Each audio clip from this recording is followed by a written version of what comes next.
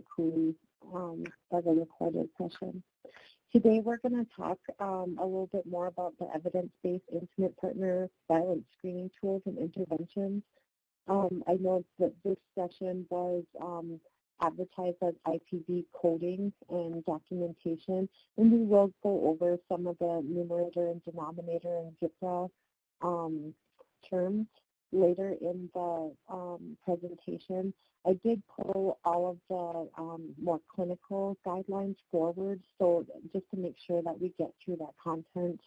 Um, we hit on that a little bit in our very um, first session with NCUIH, and there's a lot of interest in having more in-depth discussion about those clinical um, screening tools. So we're going to hit those a little bit more, um, so I'll take a little bit more time to go through those tools today. If you have any questions, just put them in the um, chat box, and um, the um, Mark will um, alert me to the questions if I don't see them right away. So today we're going to discuss current recommendations regarding IPV screening, identifying pertinent groups of patients that may be at a higher risk for experiencing IPV, recognize at least four intimate partner violence screening tools, and compare available IPV screening tool features and pertinent considerations for clinical use. And then at the very end, we will um, go a little bit more in depth on the IPV measures and um, have a, a chance to ask questions about any of the content. So I just want to start off with the update to um, in May of 2018 from the U.S. Preventative um, Services Task Force, and just um, you know a, little um, just for information about this presentation. So I listed most of my resources at the bottom of the um, slide. So if you want to go more in depth on um, what we were discussing, you can actually go into um, the presentation slides and download them. And then um, there's links or, you know, copy and paste the link to the resource for more information. Um, you can also ask me a question. I can, um, I, I, might be able to answer it without you going there. But um, in May of 2018, um, the U.S. Preventative Services Task Force did update their recommendations for IPV screening. And so there really wasn't any change in general recommendations. It is recommended to screen um, females from 14 to on up for IPV. And what they say is in the reproductive years um, for females. But they also made, there, there were several other recommendations in um, kind of the small print, I would say, of that, of that um, source, which I, I do want to point out because it, it um, may sway you as to your clinical practice and actually who you screen and how you screen um, your patients. Um, there really wasn't any changes in the actual instruments found to be reasonably accurate, and we're going to go over some of these in in depth. The HARK, the HITS, the E-HITS, PVS, and the WAST were some of um, a few that were mentioned in 2013 guidelines and were also found to be um, reasonably accurate again in May of 2018. Um, we're also going to talk about another instrument called the danger assessment, which is um, it, it, it's a, a tool um, that runs to lethality risk. It's a, a risk of a patient um, actually becoming a victim of homicide. And so we're going to talk about that one a little bit more in depth as well. Um, for interventions, ongoing support services that focus on counseling and home visits were actually found to be um, much more effective. Um, there was a large study about home visiting um, programs. I'm not sure if any of the urban um, organizations um, support any type of home visiting, whether it's um, you know, if you have CHRs or um, community representatives that may, may do outreach or transportation or anything like that, um, that was found to be a really effective way of um, offering services for intimate partner violence. And we'll kind of talk about some of the barriers that obviously are the safety issues in doing home visits where it intersects with IPV.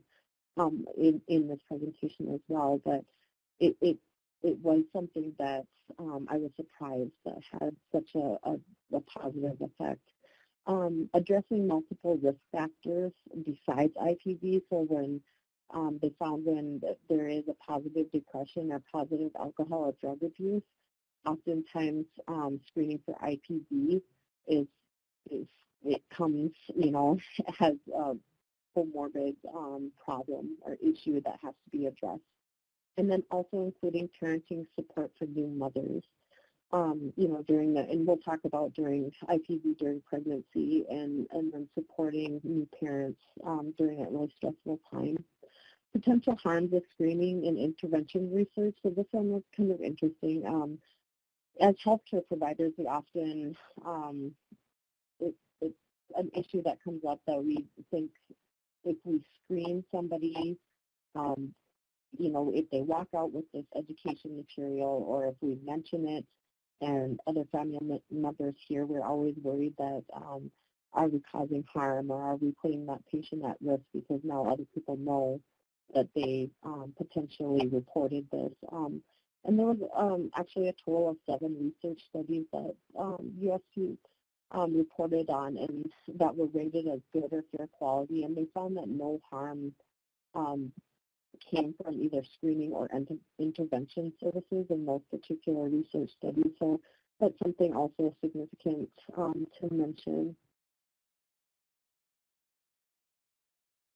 So we there's another, besides screening, and we're going to talk about all the screening tools, there is another approach which includes universal education. And universal education is um, something that we do teach in our three-part, the IHS three-part series that um, I, I included under the IPV training deck. There's a link to a three-part series that you, you may um, want to have your staff or yourself um, partake in that particular screening, and that relies heavily on universal education. So, and that means that we screen everybody, usually, you know, 13 and up, or even younger if there is some risk factor present there. And, and both female and males um, receive the universal education. It just acknowledges that violence is common across all age groups and genders, and then although most data relates to female victimization, it, we actually do have data that says American Indian Alaska Native men, as well as patients in bisexual or same-sex relationships, experience IPV and other forms of violence at higher rates than national averages. So um, it's really important to recognize that in the population that we serve, um, the the risk is fairly high, so we should actually be educating or screening everybody. Um, and not all of our tools are validated for um, different groups of people, but um, the issue does cross um, all of our. So universal education is also effective. Um, there is, and I put in links to um, articles at the bottom of the slide if you want to read up more on those links. And this evaluation of school-based peer-facilitated healthy relationship program for at-risk adolescents was one article that I wanted to um, talk about because it, it, it found that educating adolescents either um, about IPV was very effective they found that if they received this education, even as a in a curriculum-based type program or just education through their healthcare provider, that they were both less likely to become victims of IPV and they're also less likely to be perpetrators of IPV. So it's very effective when we start talking about, well, how young are we going to educate and how young should we target? And, and you know, um, like on the GPRA IPV measure, it says 14, you know, and over, over. And we also get this kind of pushback sometimes, like, really, that's really young. Um, but it, it is effective um, to both screen and educate um, even before somebody really gets into a relationship. And that's one article that um, it, it was very interesting to read, so I left the link there. And then there's also the um, intimate partner violence by in that 2015 um, date, and I got that off as a clinical key, and it and that also lends itself to um, the the effectiveness of universal education and why you know everybody is really at risk, and we have to target all of our patients, not just females 14 and over in, in the reproductive um, ages.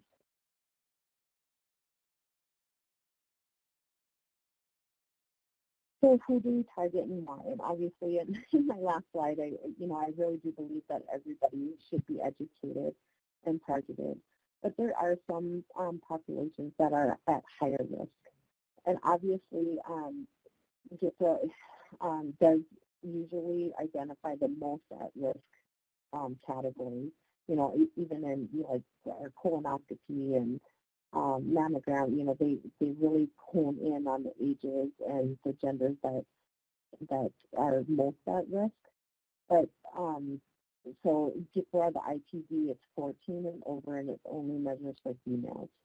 But during pregnancy, um, they are especially um, um, at risk for IPV.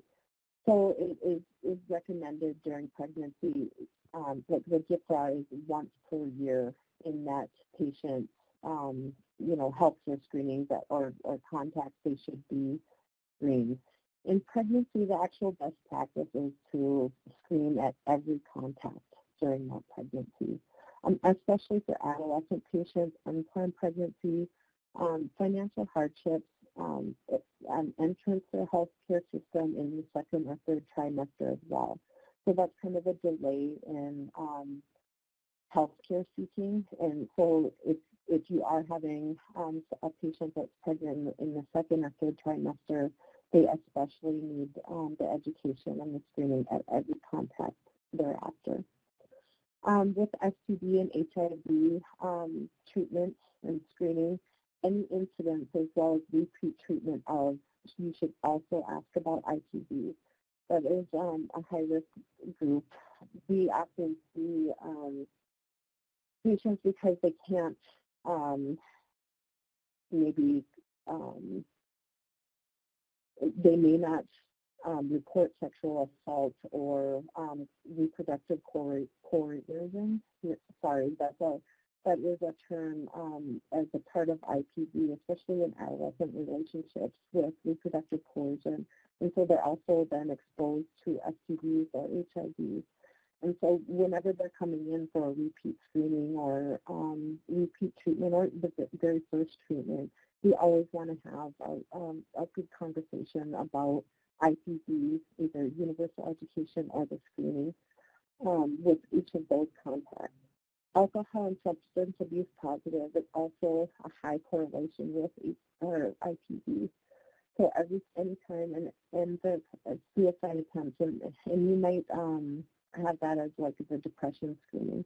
So really, whenever you're screening for depression or alcohol substance abuse, you should also be screening for IPV as a possible um, issue that is also going on.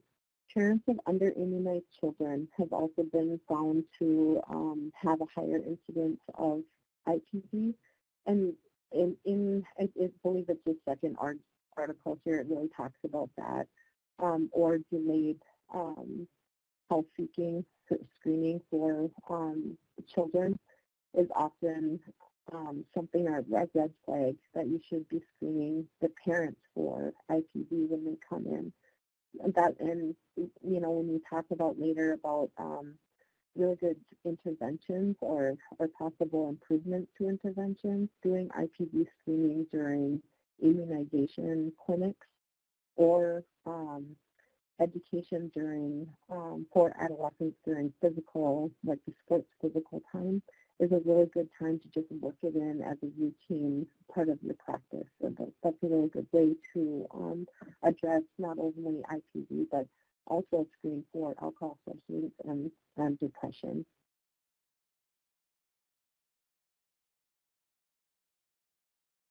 So when we get into some of the IPV screening tools, and this is um, some of the really technical part of the clinical um, things that I wanted to um, get into as sometimes it's assumed that healthcare providers, whether it's a mental health care provider, a nurse, or a doctor, has already been trained on how to screen and what screening tools to use. Honestly, a lot of us, you know, in our bachelor, even in my own bachelor degree program, I, I really wasn't taught, you know, this is the best screening tool we use, this is how you should do it. It's really something that it's an on-the-job training, and it's a medical decision of your facility of which screening tool you are going to use and then to get comfortable with that screening tool. And like I say, it's my spiel. You know, now I I've just done it so often that I I am very comfortable doing it. But many healthcare providers are not comfortable doing it. So what ends up happening is we do not pick a specific screening tool for our facility and train our staff on that. We often come up with the, you know, a really general question, are you feeling safe at home? you know, and that's the extent of our screening. And we know that that doesn't really get to um, um, a positive response if if IPV is going on at the home. Maybe they feel safe at their home right now, but their their uh, perpetrator is, not living in their home. You know, so th- there's a lot of different um, nuances to just a one question um, screening tool or or a very general screening, and then you know, marking negative in a, in a very hurried manner, um, it's not likely to garner um, some of these, the results of these other screening tools. So we want to look at those and we really want to get together as a facility and ask, you know, okay, which one of these screening tools pertains to my population and, and which one are we going to decide to use? So I just wanted to, you know, open up the first polling question related to um, if you are using a screening tool. Mark, would you be able to open up that polling question? So has your staff been trained to use a specific IPV screening tool? I was just interested to know um, if you're at your facility, if you have a specific training tool in your staff that your staff uses. And we'll just um, take a minute here to find some about, more about our group practices.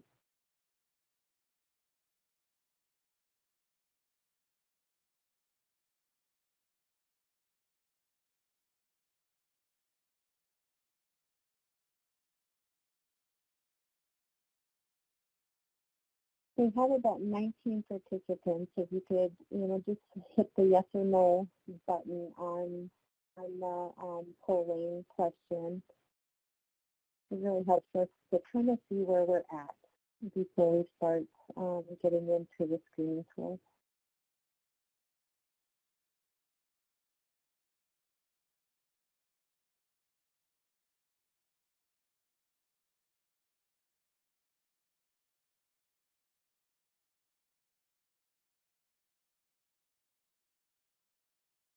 Anyone want to jump in there?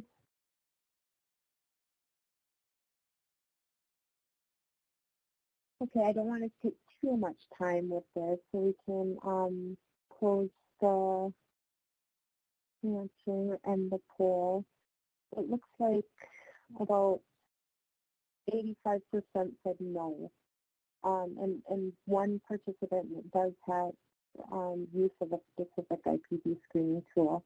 And unfortunately, that's not um, um, something that's unique to urban Indian organizations. But, you know, there's many facilities, healthcare facilities that have not um, trained their staff to, to use a specific tool.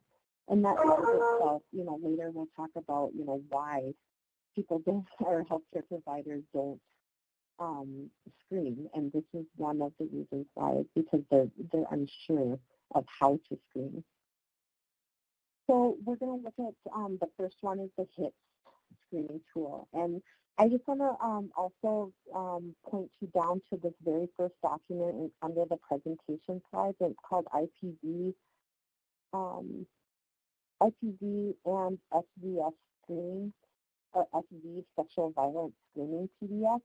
So this is a booklet, and it actually has the actual you know, screening tools in it um, that you can either copy off or you can, um, you know, put into a Word document or, you know, I don't know how you have your screening of um, done at each of your facilities, but you can also take these and put them into our PMS templates if you if you would like.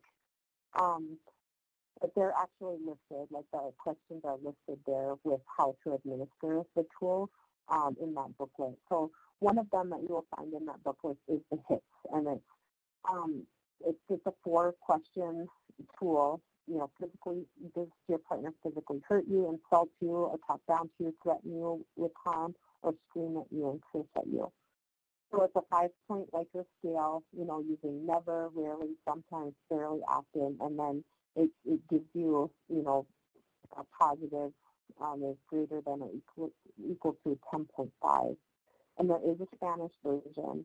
And then I want you to, pay particular attention to the setting and population because you're not going to find um, actually any that are have been validated for the American Indian Alaska Native population specifically. So, um, but if you want to pay attention to, you know, if they're tested in women and men and the different versions that you will find with some of these. Because we're only going to go through a handful that were recommended by, you know, the U.S. Preventative Task Force, but there are others in this booklet. So um, the sensitivity and the specificity tested is also listed for um, each one of these tools, and that's something that you, your um, healthcare providers and mental health care providers are going to want to consider when they're um, picking a screening tool. Um, the next one, and then I, there's also a link to another um, booklet besides the one um, that I included the whole document here, and that's the 2009 Intimate Partner Violence Screening Tool. So that's another one that has listed several different screening tools, and you can find the whole screening tool um, on that document as well. So the, another very popular one is the WAST, WAST and the WAST-SF, the short form. So some of these have a longer form, and, and then there, there is another short form. So uh, and with a lot of these shorter forms, if they're positive on the shorter form, it often recommends you to then do the long form.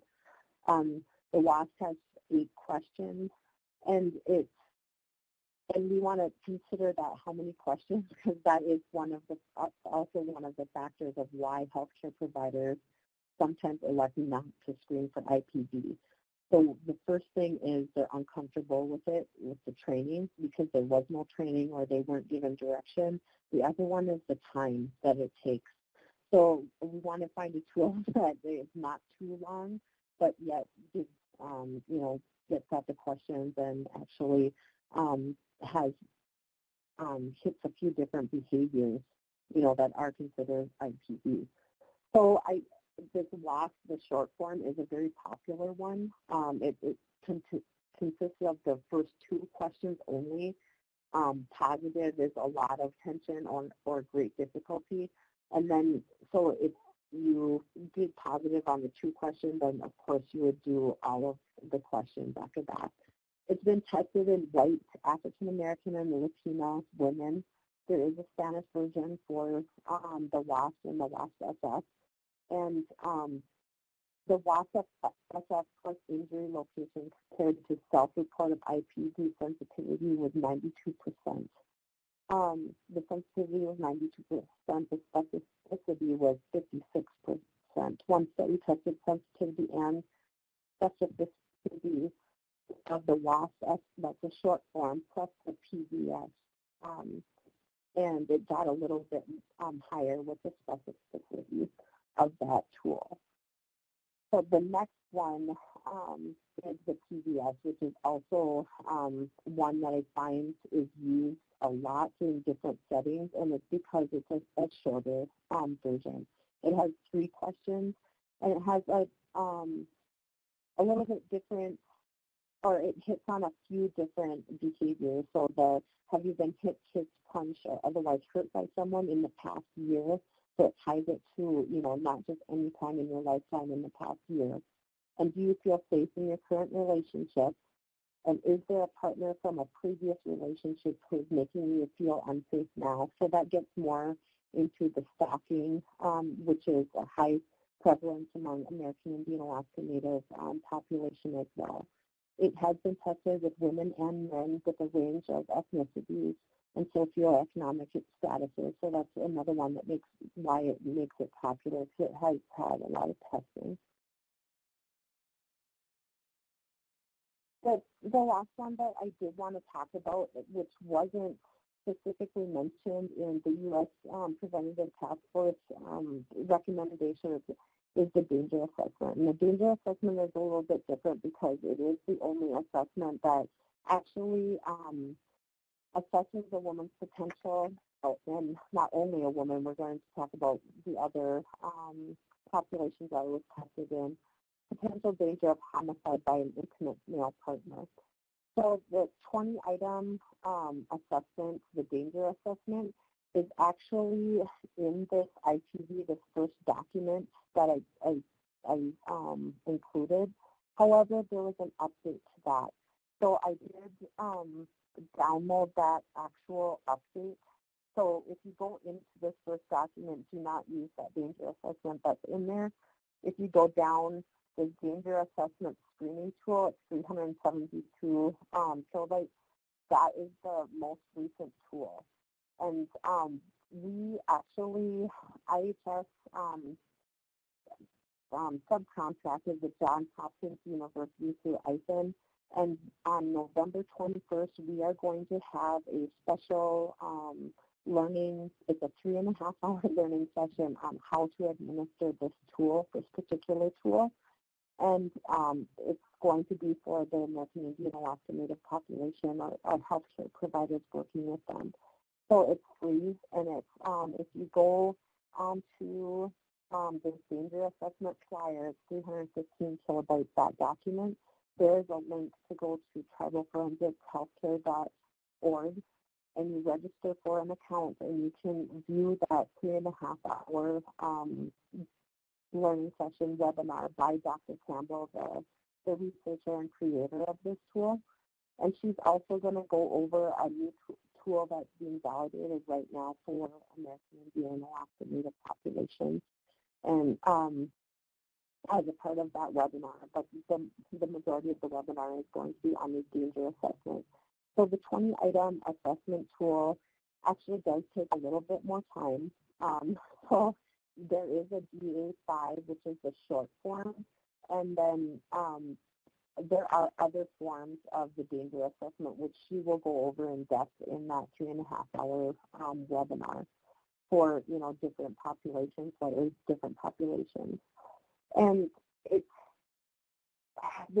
so this danger assessment um, has an activity within in the, the questionnaire where the patient actually marks down on a calendar um, when and what happened on on each day. You know, they go back over you know the past year, and they that part of the tool, although it's time consuming, um, you do have to sit down and take a little bit more time with that patient.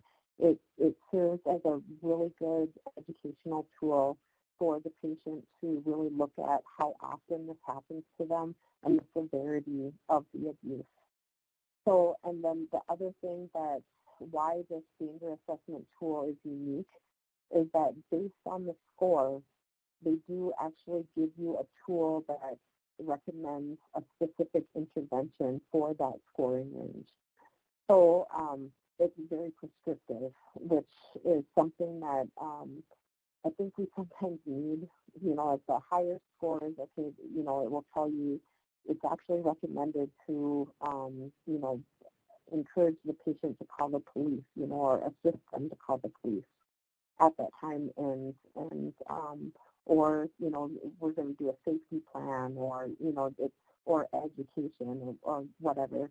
But the but the weighted scoring tool is um, something that is taught in that three and a half hour training um, webinar that we will have available for free through tribalforensics.org healthcare.org on November 21st. And then if you can't um, be there or listen to it on November 21st, it will be under the recorded webinars tab on that our site.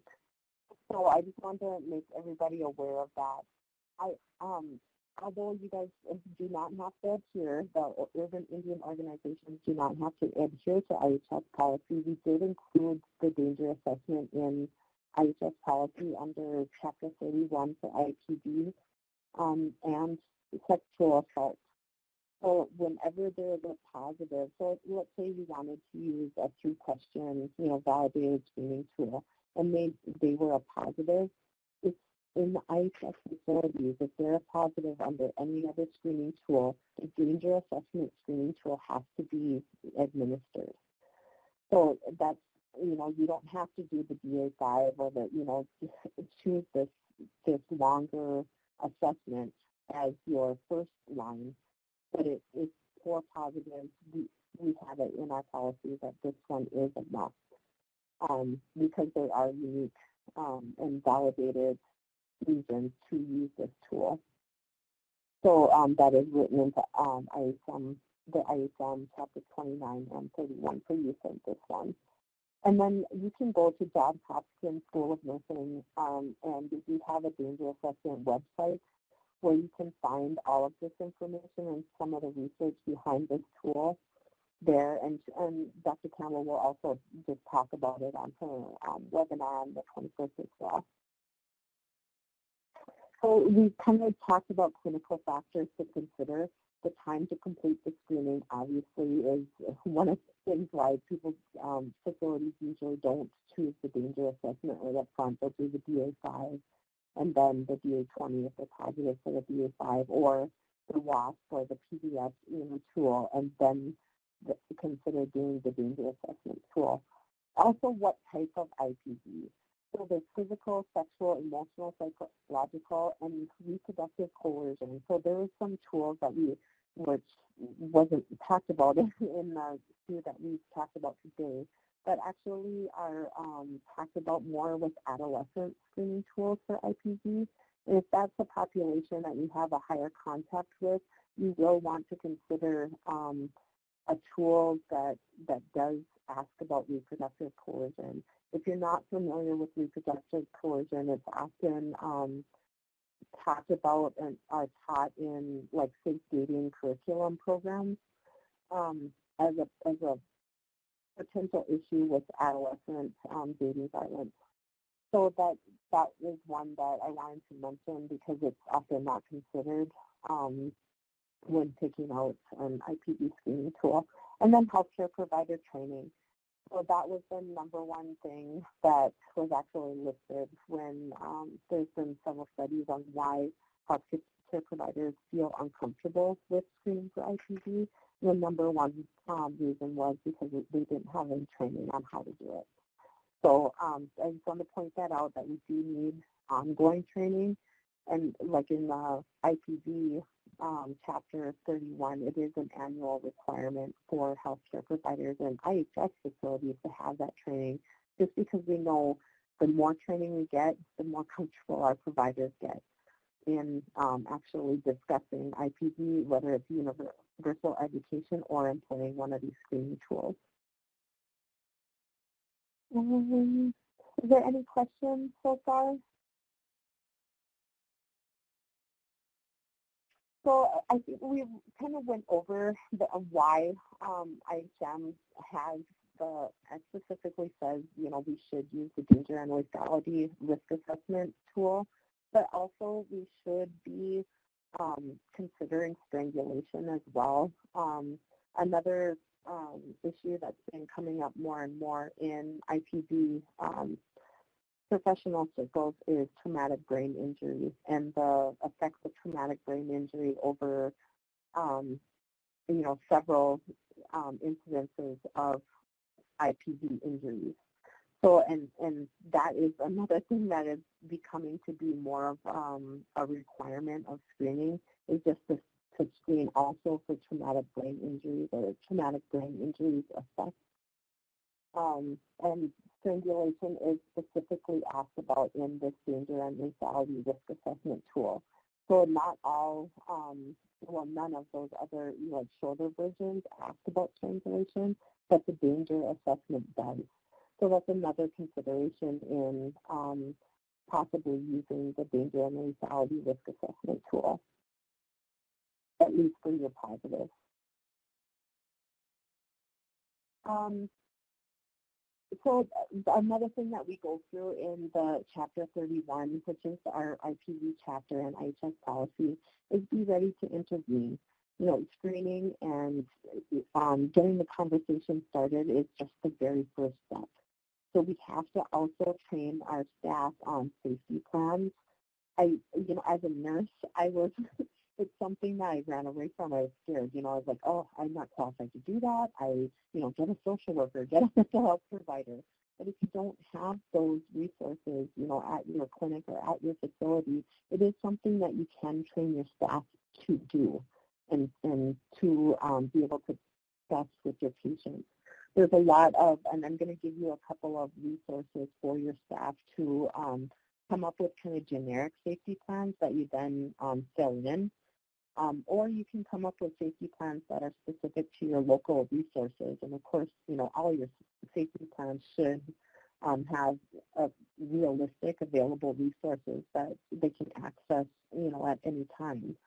Um, but I'll, I'll, show you a simple one in the, one of these next slides. But that's something that also don't neglect that, you know, or just um, perceive that your staff is probably knows how to um, talk to a patient about safety plans. It's also something that they might not be comfortable with at all and need training on. Um, victim advocacy contact information.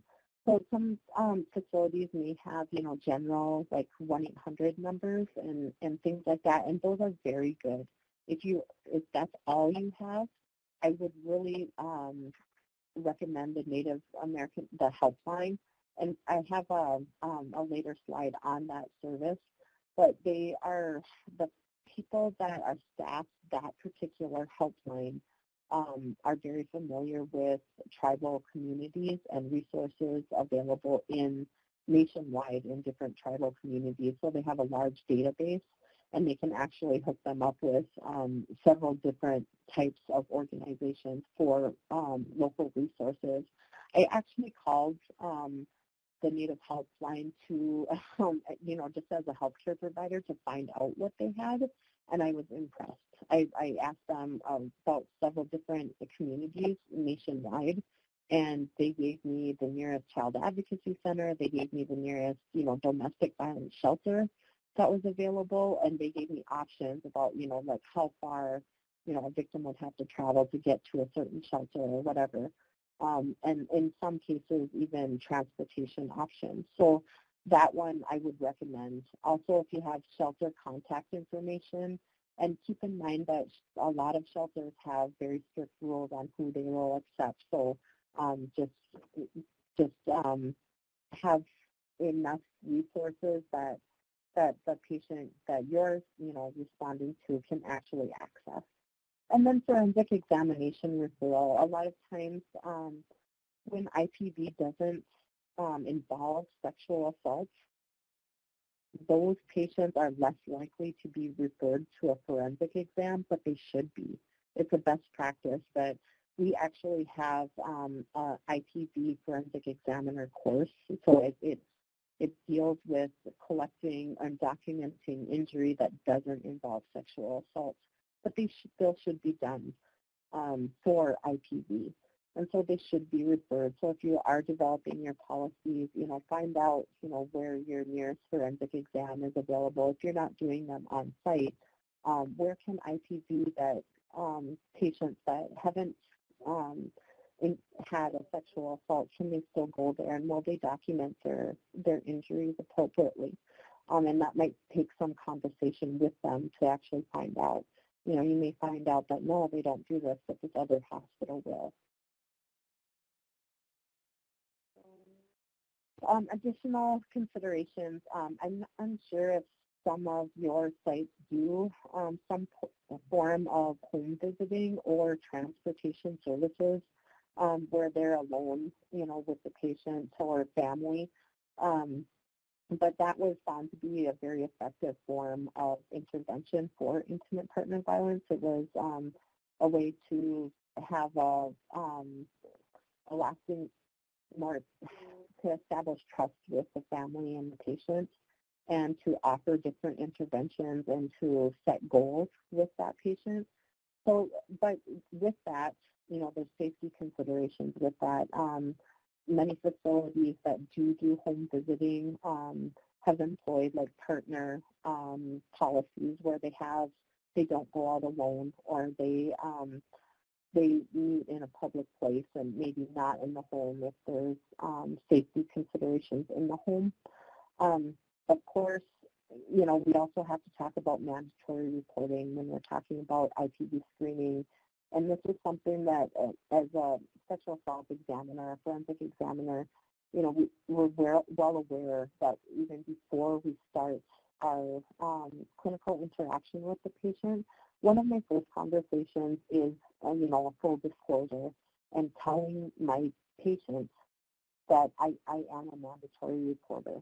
So before I even start my whole spiel about, you know, discussing universal education about IPV or sexual assault, I do tell them, you know, if any of, of your um, our conversation, you know, comes up um, where I think that a, a child or a vulnerable adult has been injured or has a risk of being injured, I am a mandated reporter. So right off the bat, they know that about our, our future interaction. Um, there is no federal federal mandate to report IPV or domestic violence. However, on the state side, which um, some of your urban organizations are in the state jurisdiction, there are some states that do require mandated reporters to report IPV. So you have to know um, your state guidelines um, as well as your federal guidelines. If you're on a federal um, federal land, you can contact, consult with your legal, you know, advisors, IHS. You know, we always say, you know, you have to consult with OGC for additional guide guidelines. But you're really going to want to know your state guidelines as well because it varies nationally. I, I believe there's I, I think it's less than 10, but there, there are several states that require um, IPV or domestic violence to be reported to police. Um, and, and, and just making sure that your patient knows from the, from the get-go that you are a mandated reporter and abuse involving minors or vulnerable adults is reportable. Um, self-determination is also a consideration with um, um, healthcare providers. They um, may get to the point where they're frustrated, especially if a patient comes in time and time and again um, reporting, you know, some kind of abuse or they're very worried about the patient, but the patient, you know, refuses any help.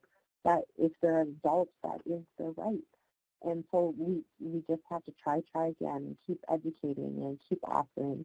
Um, but there's that um, frustration really weighs down on healthcare providers to the point that they may stop um, addressing the issue with the patient. Um, but so to talk about that in some of your training or, or to employ training that does talk about that is often very helpful as well. And so that that is um, talked about in our three-part series under the intervention. I think it's the last series, and that three-part series flyer is um, listed under IPV training, the IPV training document in the presentation slides. It'll give a link to register for that um, that particular training. That that's the training that's very um, heavily dependent or encourages universal education as the intervention. So these are some patient education resources. How we're in the previous slide, we are talking about, you know, we have to be ready to intervene. One of the things that that helps your facility get ready to intervene is actually have a patient education resource, something you can hand to the patient that they can either take home or have in in their vehicle or or just a resource um, numbers or resource location um, so they can take home with them. there's several that um, are very helpful. The Futures Without Violence, that if you go into that link, you can order for very low cost. I think it's just the shipping, but there is American Indian, Alaska Native focused um, palm cards. And they actually, I think in the three-part series, they actually use those um, in our educational series. And I think they got those from Futures Without Violence. You can order those and have stick your sticker on your healthcare facility um, on the back of them. Also, the Strong Hearts Native Helpline, and that's the one that I was talking about. That if you're going to use a national helpline, this is a very good one to use. Um, very impressed with their staff and how familiar they are with tribal communities. They have pamphlets that they'll mail you out for free. So if you um, contact them, at, you know, they sent me a whole box for free. Mending the Sacred Hoop is also a really good, um, it has several different forms of either pamphlets or palm cards. And they also have ones that are geared towards adolescents as well as Futures Without Violence does too. Um, and then the, I also want to mention the Department of Homeland Security, the Blue Campaign, has trafficking, human trafficking um, resources that are free and that can be mailed out. Um, it, you may have to pay for the shipping. I can't remember on that one, but it's a very nominal cost um, for them. I mention that because often um, with human people um, that are experiencing human trafficking often see the trafficker as a significant other. So they may, um, um, in your discussion, talk about their significant other in an IPV related issue. And as you get into the factors surrounding that, you may recognize it actually as human trafficking. So um, that's why I listed that as a patient resource.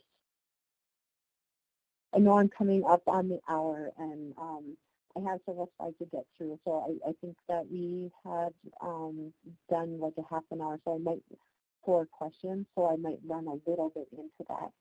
This interventions um, safety planning, for the link for this, I, I listed this, and you can Google these. There's, there's several more, but I like this particular safety planning. It, it had a lot of really good general information, and then you can, um, you know, write in different, you know, you can kind of um, help the patient check off what is particular in their situation. So it, it was just an example of a, um, a really simple one that you can print off in a brochure type of, of um, handout and then you can um, go over it with your patient and write in things or change things if you if you would like.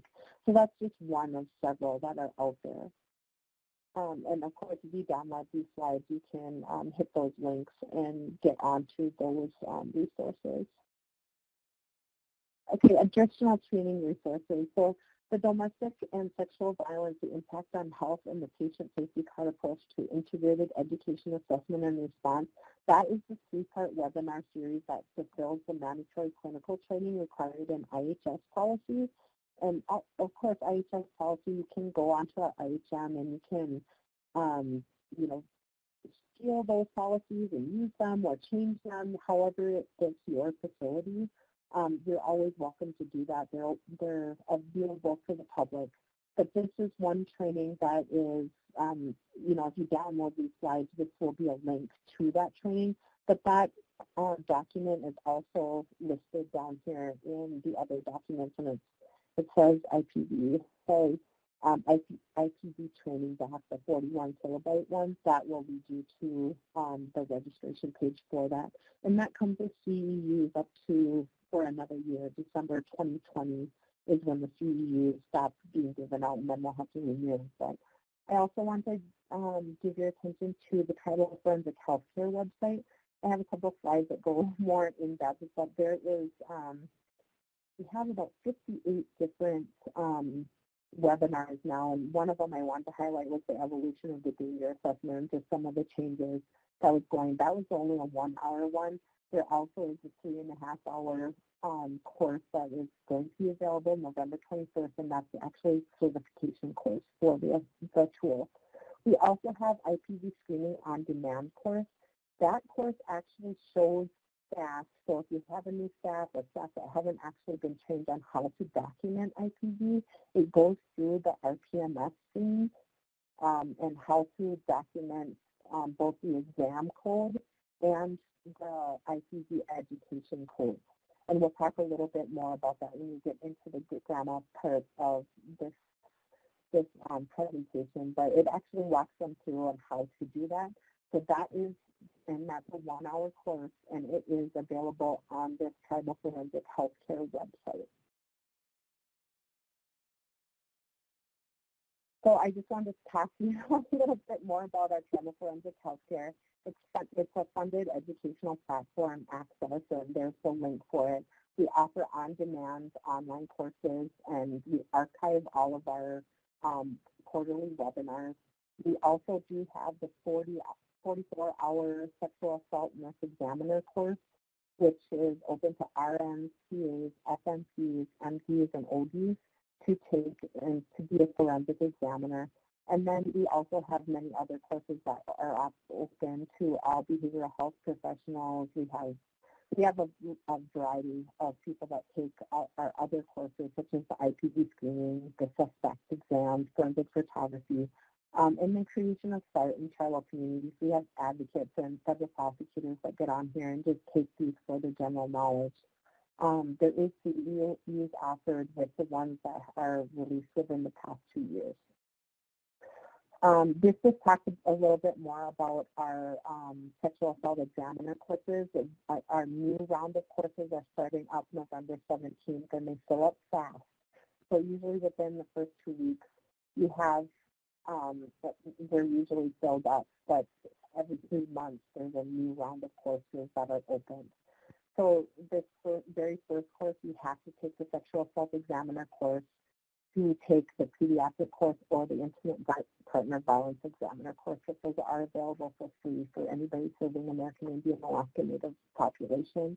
And then we also have in-person clinical skills experiences available around the country too if they actually want to go to a setting and, and practice those skills before they are, um, you know, go back home and, and, and start in on the clinical forensic um, practices. And then we have monthly pediatric peer review virtual meetings, so we go over actual cases and discuss them in a professional setting, a secure setting. So if you want to participate or if you have staff that would like to participate in those, um, please email me and I will um, set you up with information on how you can get on, on our peer review. Is there any questions so far about the clinical tools? And if you have, if you think of anything, um, if you can't find one of those tools or, or you want to discuss different tools a little bit more, um, you can always feel free to email me as well. So I, we went over some of the Get Grandma um, measures in the previous um, our, our session one, but I did want to go over this um, again and maybe if you had any questions about this, you could um, ask those questions and I could maybe specifically, you know, talk about um, issues that you you as a UIO organization are concerned with.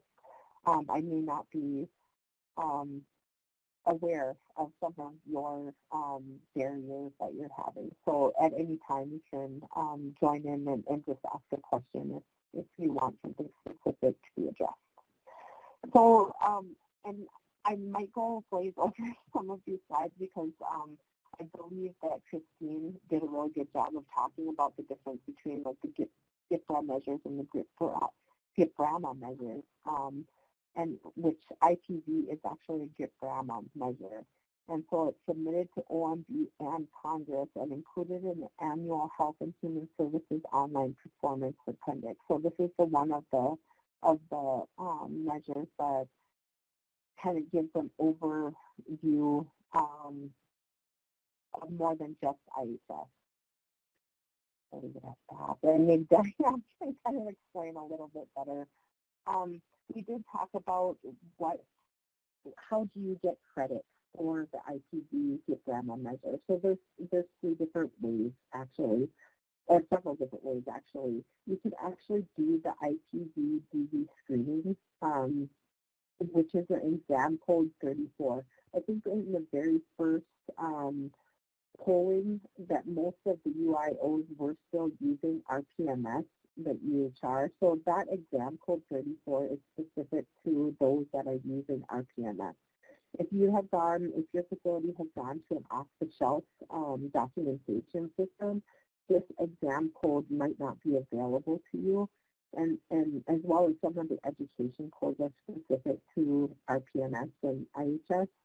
Um, there, I, as far as I've been finding out is that some of the off-the-shelf systems do offer for an extra fee for these to be configured and I don't, um, I'm not familiar with, you know, the expense of that or the feasibility of that for different organizations. So if that's something that you're concerned with, um, please um, speak up and, and maybe we have other people on the line that have to know a little bit more about that. So um, the IPV-DV screening can be accomplished through exam code 34 BHS IPV-DV exam. So and this on EHR is the one that in the Tribal Forensic Healthcare, the one-hour IPV screening course, it shows you how to document on there. Um, the IPV-DV related diagnosis. So if, if, the patient is actually diagnosed with domestic violence or intimate partner violence using any one of these codes or these SNOMED data sets, that in the problem list only, or the BHS POV 43 or 44, you then get credit for um, the IPV measure. Then also just doing the IPV DV patient education as a universal education. So any of the patient, edu patient education codes ending in domestic violence um, on, if you're an RPMS uh, um, EHR site, any one of those codes is going to put you to the positive. So um, some of the highest scoring um, facilities and areas in, for the IPV measure is because they use education as to meet that that IPV. They just really have gotten into universal education, and they they may not do use a screening tool at all. Um, which of course, you know, I, I recommend that you do pick a screening tool and you do have it available but many uh, are doing very well just doing universal education and documenting that um, using these education codes. Um, and then the IPV-DV counseling, the PLB, ICD-9, and um, these codes. If you use any one of these codes, you also get credit.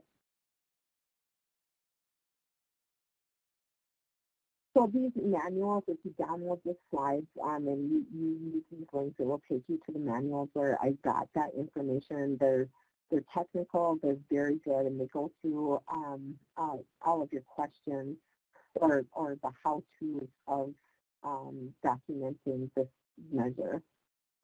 Some possible actions, these are clinical actions to reach goals. You know, our goals, our GPRAMA um, cutoff is 41.6. It wasn't moved this year from last year.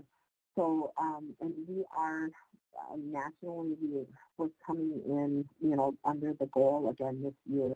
Um, a lot of that has to do with our ability to actually um, get the data or our, our, our practices and, and get credit for those practices, insights that are non-RPMS.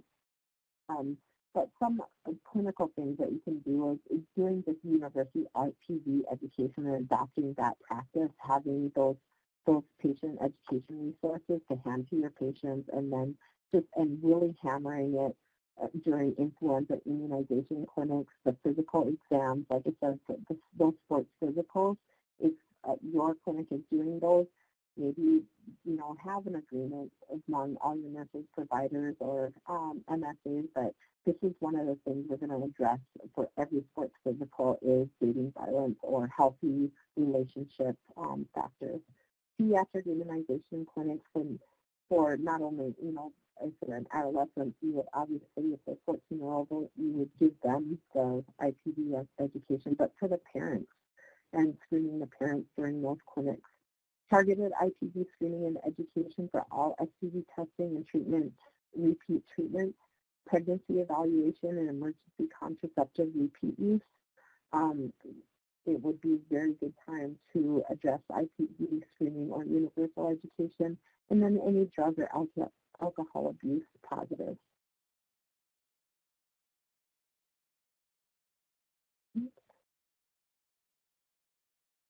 So technical act actions to reach goals. Ensure that your GPRA community is accurate. There is, um, in, in the UIO setting, there is um, some technical um, issues with your population area that, that aren't uh, that haven't been resolved right now, and um, maybe Diane can talk with you more about that. Um, I don't have all the information on that and, and some of the possible resolutions to those problems. But if that is a problem um, for your facility, we can talk more about that. And then contacting technical advisors with MDW to ensure that data capture is getting credit for all screening, diagnosis, and education, and how to um, upload that data if you're not using RPMS. Um, and then just using iCare RPMS to identify all missed opportunities and perform outreach, outreach to those patients. I also just wanted to try just one more maybe polling question. Um, Mark, can you poll the question about um, performance improvement?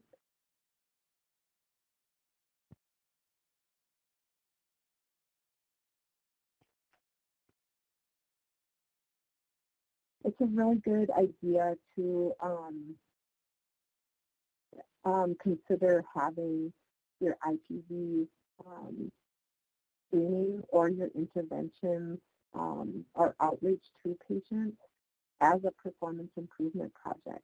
I was just wondering if, if any of your organizations right now have any performance improvement um, projects related or chart audits related to IPV screening or IPV intervention.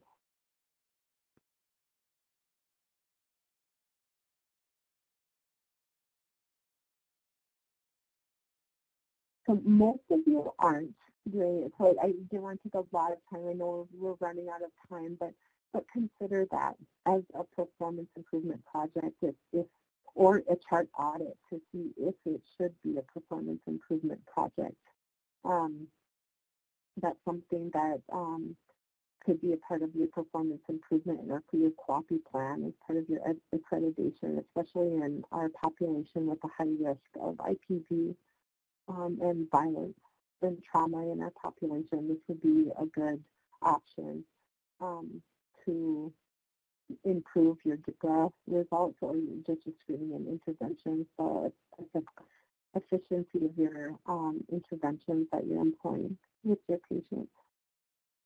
Okay, well, well, we'll end that poll. And then I just wanted to leave you with,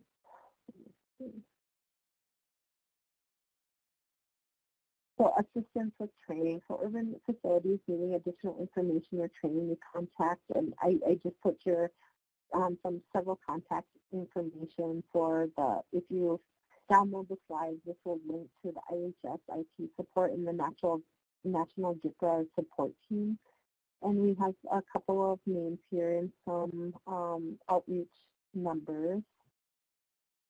And then, of course, any questions or if you needed to discuss further, if you need help um, even looking and exploring more of the screening tools, I'm happy to help with policy. Um, I, I, may even be able to um, float a couple different policies to your facility that may work or you may want to um, start from so you don't have to start from scratch. So just reach out to me at um, my email.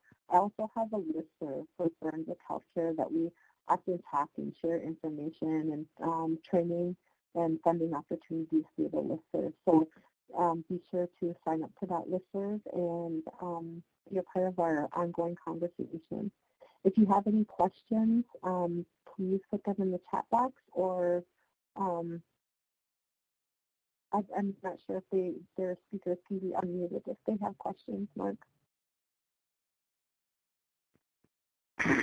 Um, so far, no questions in the participant chat box. Uh, we can keep it open a, a few more moments, though. It's, that's no problem. Okay. Well, thank you everybody for joining. Um, I encourage you to download any of the documents and um, partake in that danger assessment um, training that's coming up on November um, 21st, as well as the, the three-hour trainings um, that, or the one-hour training for IPV screening as well.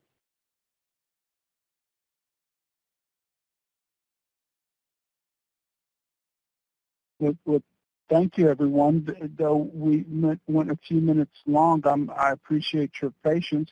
Again, the participant chat box uh, will be open a few seconds longer.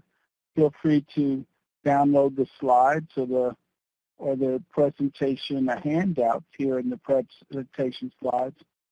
We'll make the slides available uh, later, and this uh, presentation has been recorded. It too will be uh, available from our website, and uh, sometime um, uh, a few weeks uh, from now, the Knowledge Resource Center will have this recording archived and available for, for others through our um, UIL uh, uh, website and, and, pages through the, the NCUIH uh, homepage. Again, I, I, appreciate your attending our second in the, the Behavioral Health Community of Learning series. And um, we'll keep the chat box open just a little while longer, but we ask that once you uh, are done either with your downloads, you please uh, hang up and, and, and exit the presentation room so that we can uh, close out.